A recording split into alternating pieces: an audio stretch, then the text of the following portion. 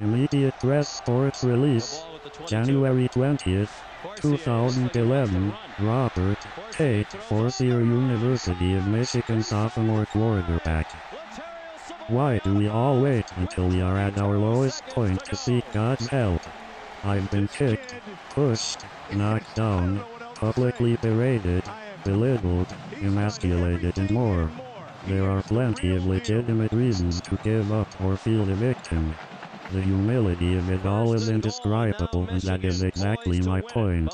I had to reach rock bottom in order to see the light, and for that, I am thankful. It was not until then, I realized that it was my lack of accountability and maturity and not to pass blame.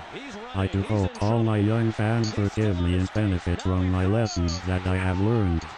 Be grateful for what you have and be humble for your successes. Don't wait to ask God into your life as he will help you see things clearer. In summary, I believe, I will become a better student and a person of stronger character from these experiences at Michigan. I can proudly state, I worked hard on the practice field, in the film room and at meetings. After all, football is my passion. I had fun celebrating with the fans. I even competed hard while injured as a true freshman through the last eight games in 2009, but I always played the game giving it my all. I am proud to have been part of the Michigan football history and will always cherish the memory. The last few weeks I worked extremely hard to catch back up. I really wanted to stay.